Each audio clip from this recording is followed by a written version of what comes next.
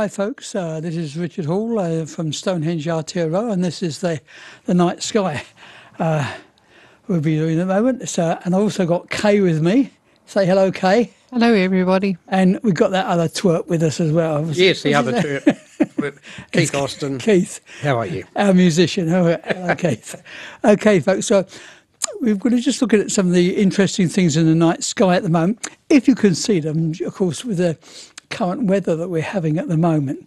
So, as we start off, I guess the first thing everyone would notice as you're, uh, even before it gets really dark, is that brilliant star that you can see in the northwest. Right. Well, that's the evening star. And of course, it's no star at all. It's actually the planet Venus in the sky.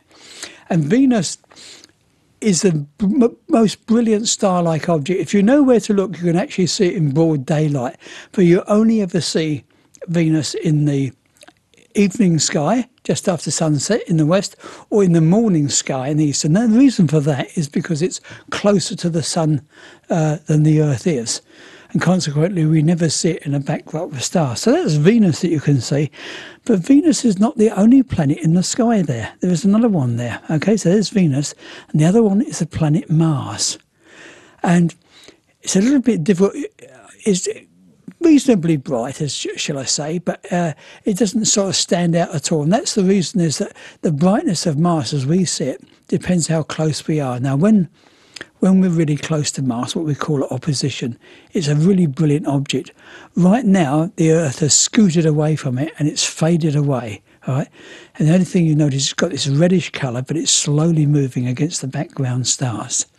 And the reason why there's that difference in the um, uh, in the the variation, I should say, in the distance between the Earth and Mars or the Earth and Venus is because, of course, we're all go- they're all going around the Sun, and occasionally the orbits have the planets close to each other, and sometimes they they're on the other side of the Sun from us, and and uh, so they're further away from us. Yeah. So they appear dimmer and smaller. When, when you consider that, you realise just how difficult it was for our ancestors who knew nothing about the Earth going around the Sun. Yes to try and work out what the hell was happening up there. you know, anyway, that, so those are the two the two planets that you can see in the sky at the moment. Right now, near to that, if you particularly if you've got a pair of binoculars in where Venus and Mars is, you look there and you'll see something we call the beehive. Uh, with the unaided eye, perhaps with a pair of binoculars, it looks like a fuzzy block, but it's actually a, a cluster of stars called the Beehive Cluster. And for those of you watching this on TV, I've just put a, um, a picture of it up. Now, the, the beehive contains uh, roughly a thousand stars in a volume of space just 15 light years in diameter. Now, I'll get this in context. For those of you looking at that picture, Remember, cluster stars are not, they're all different brightnesses, from stars which are thousands of times brighter than the sun to those that are thousands of times fainter. So when you see this photograph, most of the stars that capture your eye are the big giant stars, but most of the other stars in the background, they're also members of the cluster. But when it's just a thousand stars in a volume of space, 15 light years in diameter, mm. if you take an area 15 uh, light years in diameter, or, you know, with the sun sitting at the centre where we are, there's six stars. So, can you imagine what it would look like on a planet going around one of those stars with a thousand stars in that same sort of I area? was just thinking of it. what would what would our night sky look like if we were in the middle of that cluster? Yeah. It would look really spectacular. It's not only that Keith, it's also the fact that uh, being so close together at this stage, because stars are born in clusters, right? Yes. Uh, and they disintegrate with time. But of course, at the moment, they're so close, close encounters between the stars will not be unusual. And you know, you could, if you're not lucky, your planet could be thrown out of space into space somewhere. Yeah by the forces of gravity. Yes, course, absolutely. Each star has its own gravitational field, and they interact with each other. Those pretty blue ones are much much hotter than ours, eh? They're Absolutely, the the blue ones are, are, are blue giants within there. Mm. Yeah, and they're probably sort of you, you're looking at tens of thousands of times brighter. The orange ones are also giants, but they're dying. They're dying, aren't they're they? dying stars. Yeah, because what happens when a star expands and its temperature drops? That's going to happen to the sun. So they were bigger than those blues. Yeah, they're bigger, yeah, but they're giant stars. But having a lower temperature, surface to surface area, they're not radiating quite so much. But they were bigger. Yeah. Yeah. And look, this is a lovely little cluster. You only need a pair of binoculars and you can begin to pick it up and see it. All right. So, and the easy way of finding it, look for Venus and Mars, and then you'll you'll find it. And actually, I think it was Venus uh, just recently actually passed right in front of the the cluster. All right. Yes. So that's where it is at the moment. So that's the beehive cluster that we can see there at the moment. Okay. Right. Its distance is 577 light years. I always find these interesting when I give you out these distances these days 577. How on earth do they get it so accurate? Well, it's actually with things like the James Webb Telescope, which is able, and the satellites we have which can measure things so much more accurately. Hmm. And its age is 650 million years. Now, you might think that's old, all right? All right? But, you know, 650 million years, that's 4 billion years younger than our sun, all right? So those are comparatively new stars. Yeah, They're, they're babies, they're babies. Babies. And some of them have already died. Yeah, that's like the giants. Yeah, they don't last very long. And just remember that in the past, our sun was part of a cluster like that. It wouldn't have shone blue though, would have No, oh, no, no, You it'd wouldn't have been able to see it very easily and it'd just be one of those dots. Yeah, that's right, in the background. And uh, astronomers have actually been searching to try and find our brothers and sisters. Now, I think they've, they've detected at least one. And how they've done that is actually because the path it has around the galaxy, but also the chemical composition of that star would be virtually identical to our sun. Because it would have been the nebula that they're all That's right, formed yeah. from. Yeah. Yeah. Yes. Now, by the way, the um, I've had people ask me how do uh, how how do we know the chemical composition of stars which are hundreds or thousands of light years away? And the simple answer is by looking at the spectrum, which is all the light produced by the star spread out into a rainbow from red all the way from red to violet, and each type of atom in the star chemistry is just atoms, um, generates a particular frequency of light, a particular colour of light. And so by looking at the most distant stars and splitting the light into that spectrum, that rainbow, we can actually tell what sort of atoms are, um, are, are, are in that star. Absolutely, yeah. And it's like a so we- fingerprint. So we're looking for a solar analog, uh, a star like the sun, which has almost the same um, metal content as uh, as our sun does. And you say we've actually found one. Yeah. Yeah. It works a bit like a um, when you go to the supermarket and they've got a barcode on something. It's like a light barcode. And also encoded in that is the temperature of the star as well, you know. Yeah. And that's when you look, when we, like Kay was saying earlier, the blue ones are hotter. As, and you, you tend to think of blue as being colder. It's just that normally, uh, a b you see, if you heat something up, it goes from red hot to orange to yellow, which is the colour of our sun.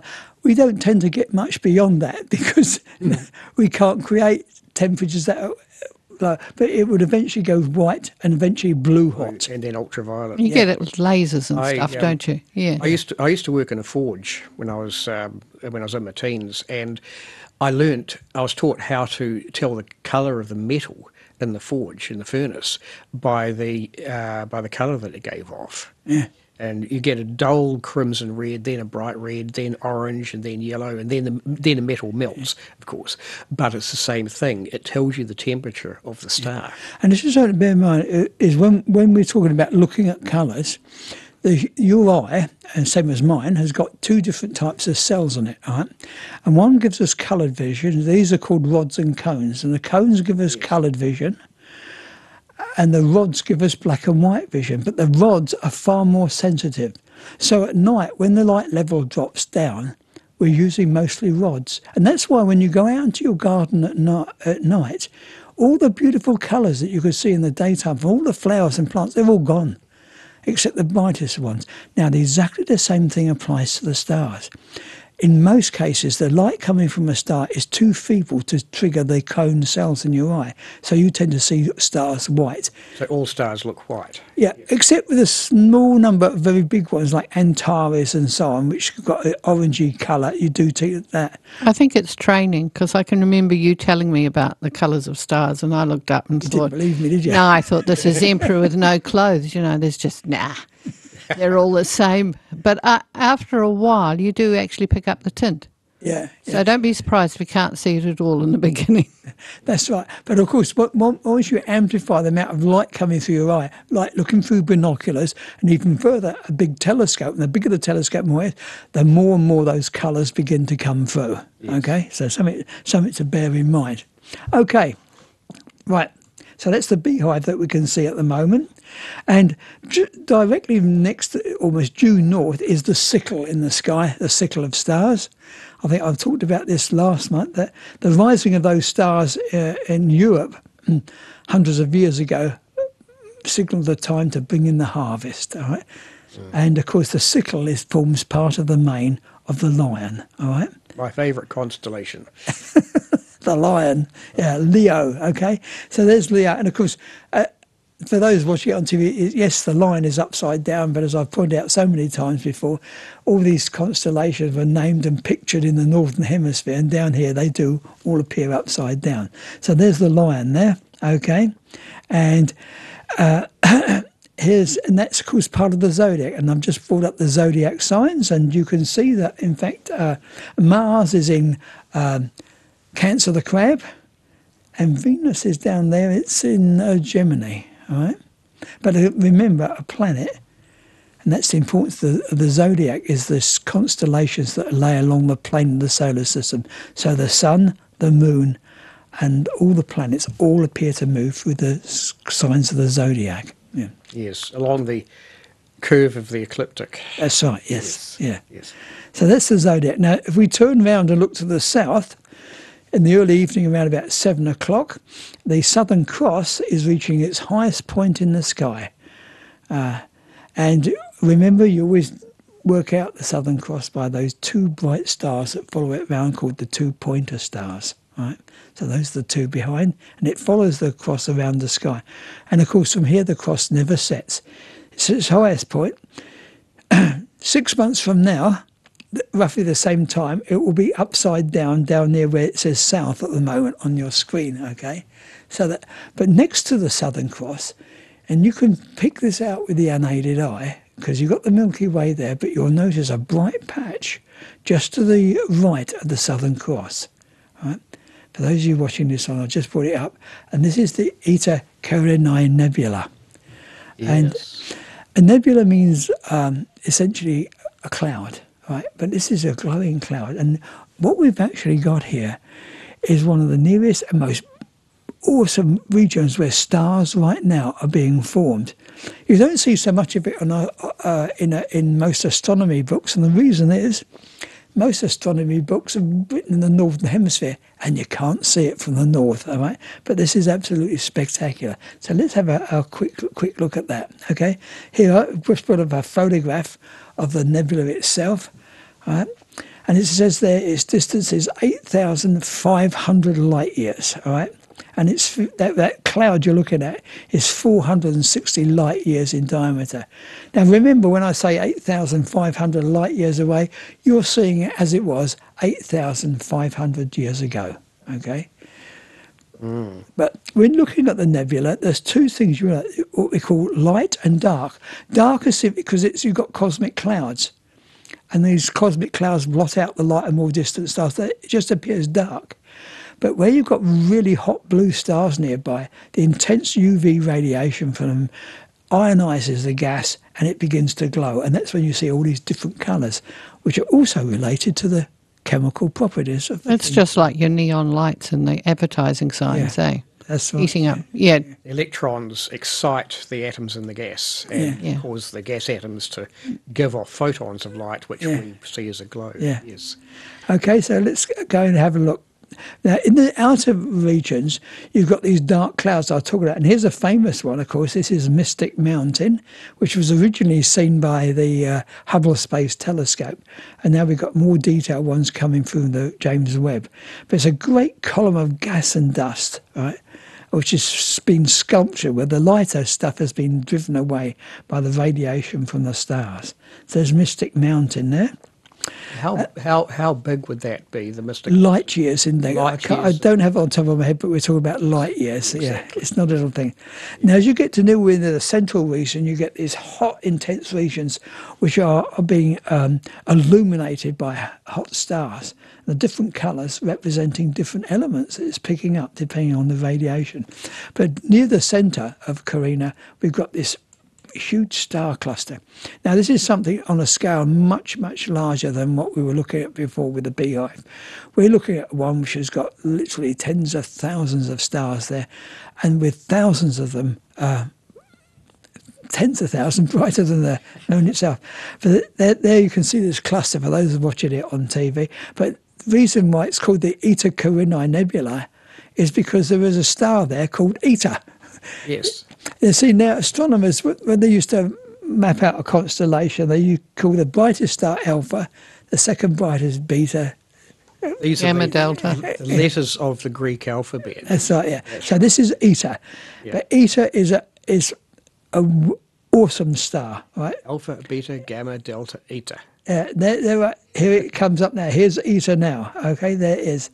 Now this star is five million times brighter than the sun.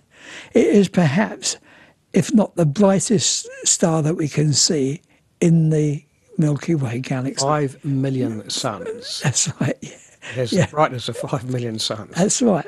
Okay, now what was brought to our attention is that a little while ago um, there was an eruption, uh, 1843. There was an eruption on this star, and the was no eruption because Eta can normally can only be seen, you know, it can be seen with the naked eye, but it's, it's not a particularly bright star in the nebula. But suddenly this star shone out just about as bright as any bright star, the brightest stars in the galaxy. And what had occurred was a, a titanic explosion had occurred on this star.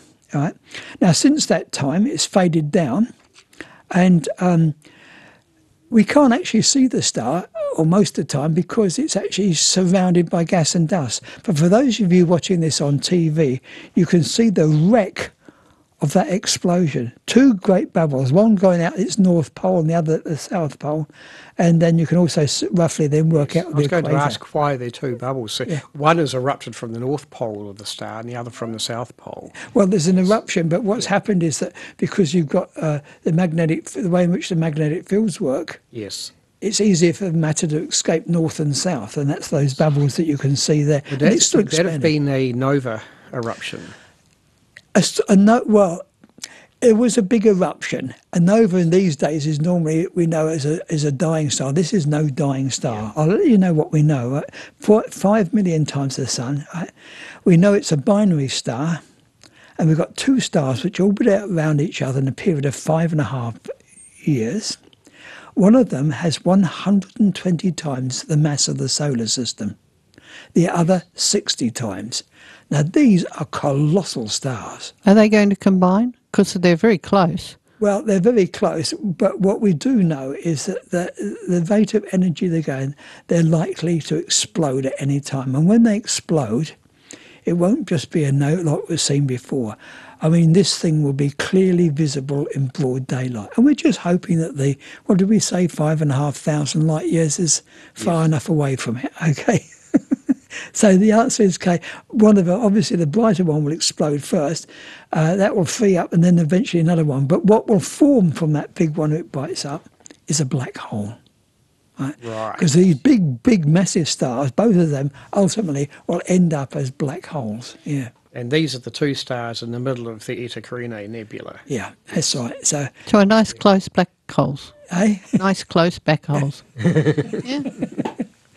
It says I'll huff and I'll puff and I'll blow my house down. and that's exactly what's going to happen with these two stars. So just keep your eyes open on that. Yeah. Now, at the moment, um, were you going to play some music for us, Keith? Um, yes, it's up to you. or, or we can carry on yakking. What we've got only got about another three or four minutes. Yeah. What's going to be this? Oh, no, I will finish off by t- doing the doing the stars, and we'll see how we go. At the moment, of course, we've got a very bright moon around, which is blotting out the Milky Way and everything else. So, if you want to really see these deep space things, head out for times when um, there's no bright moon around. Okay. Yes. Now, let's have a look at the full moon. It's actually quite interesting, right? So we've got a little picture of the come up of the moon. And what you, you can pick out, even the eye, is dark and bright patches on the moon. And these are permanent, all right? But the interesting thing, if you were to strip all the oceans and atmosphere off the Earth, you would see exactly the same thing.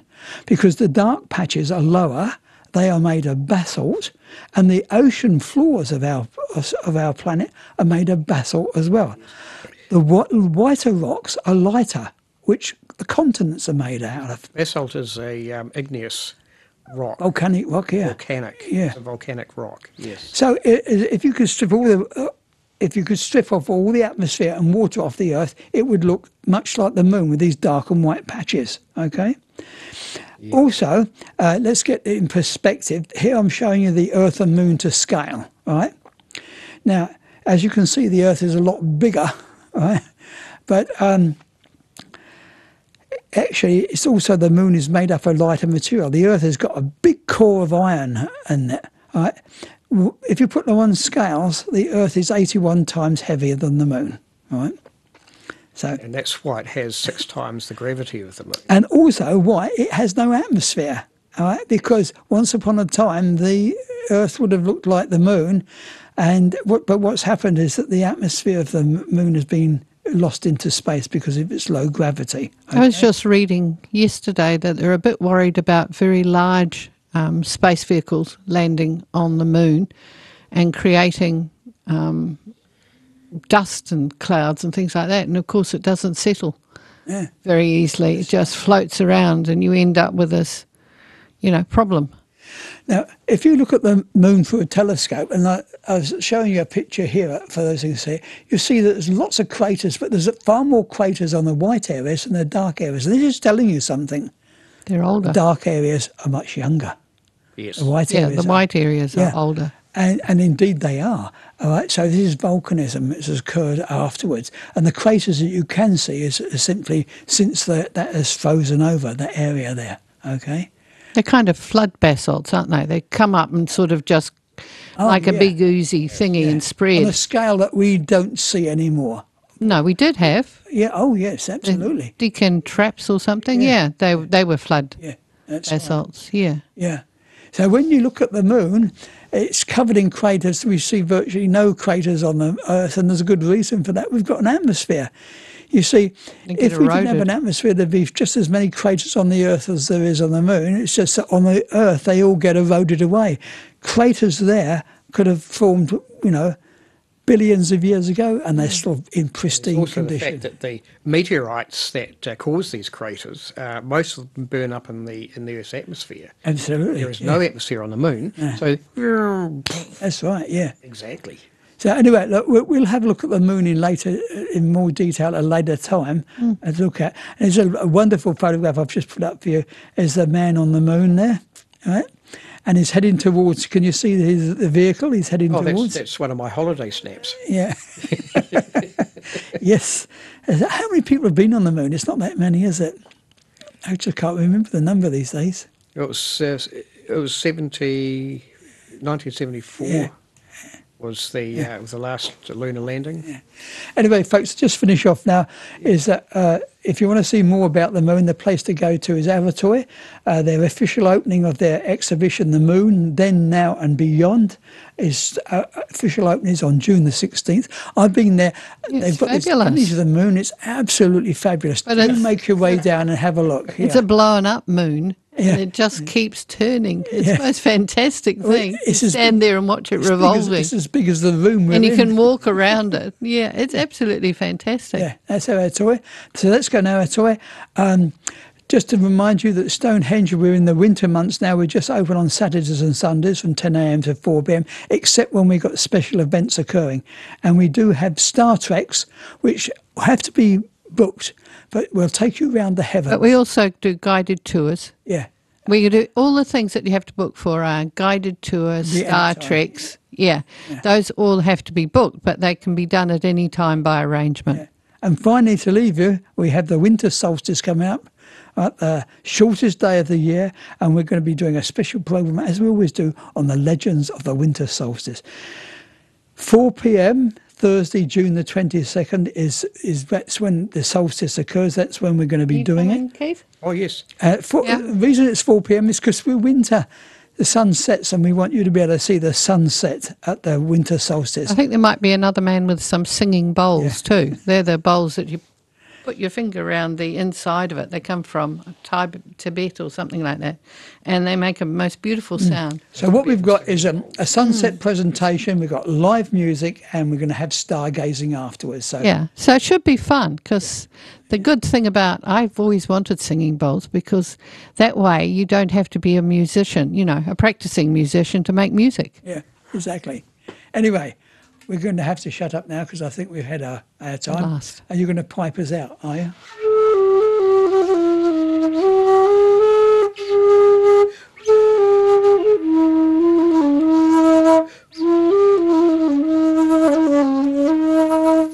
There you go.